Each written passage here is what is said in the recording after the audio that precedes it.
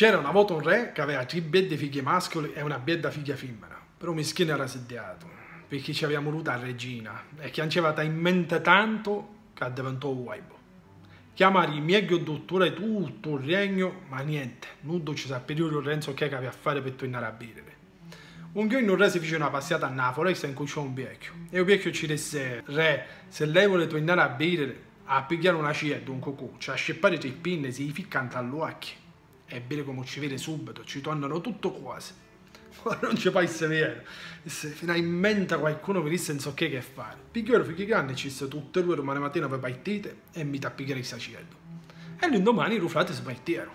Però non si avevano addonato che o unico si aveva infalato. Era l'arriere nella carrozza. E si partì con ide. Ormai erano troppo lontani da si è deciso, va bene, viene con noi. Ma tu ti sai a guardare i tieni e noi ce ne spartiamo. E uno se ne a destra e l'altro a sinistra. Il piccino era da tranquillo, ai solo occhi, da un albero e c'era un cocò. Il piccino era bravo. Sato, pigliò il boom, e ci scippò tre pinne. State che un po' frate più grande. E betto piccino queste tre pinne, e non aveva trovato niente. Ci se... E si pinne non ne trovai. C'era un cocò e ci scippavo, ci suo vicino. Il frate si scantò. Disse, no, come io, o più grande, avesse essere io il re, vuoi vedere che fanno il re a Edo, pigliò un baissone, boom! C'è un colpo in testa piccino e ci scippò i pineri in mano. Sale campo frate Menzano e ci si trova questo cocco. Sì, trovavo cocco e ci scippavi i pinni e ci sto più grande. E un picciretto, non è? Boh, forse se ne ha Piero gioca a siedo, uno vita quando tornava. La monna che c'è papà che non aspetta ci sto più grande. Se ne tornava a siedo, ci retti di pinno pace, o padre ci sta grazie, un picciretto non è. Boh, papà, sapesse, speriamo, non troviamo più, non sappiamo non è. Intanto però mettiti i pinne nell'occhio, vedremo se funziona. Un re pigliò i pinne, boom! Minchia ci tornò a bere subito, era felice che ci vedeva. Però era sediato, ah, il suo figlio non si trovava. Un giorno un pastore, da non fu un pozzo, e trovò quattro secette niche, tunne, e disse, sossa sono buone per farci un frescarietto. Mi pigliò, ci cominciò a travagliare e ci fece un frescarietto.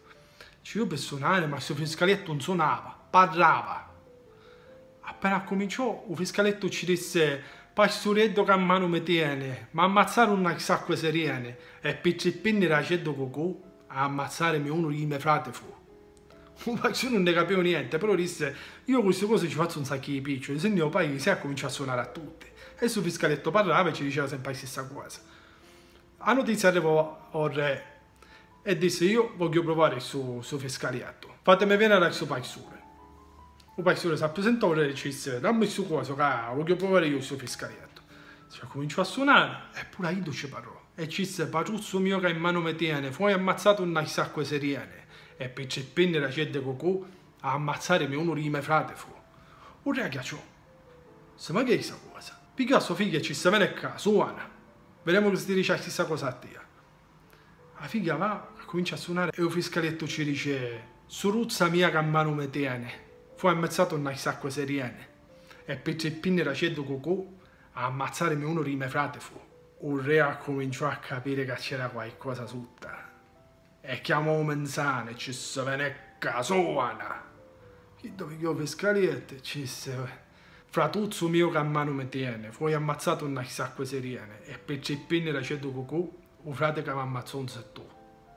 Un re agghiacciò Disse, ma come può essere mago più grande, un re? Chiedo che io mi farà rida, ammazzo io, dare ci se venecca.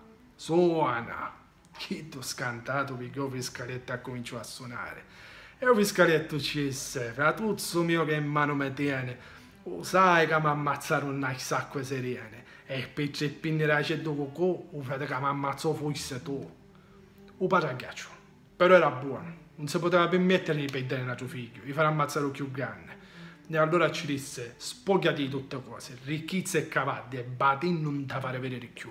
La storia si conclude con il re che per riconoscenza al pastore gli fa sposare la figlia e un re che ritrova un po' di sorriso perché finalmente un figlio che aveva perso ci ritornò anche se era un frescarietto.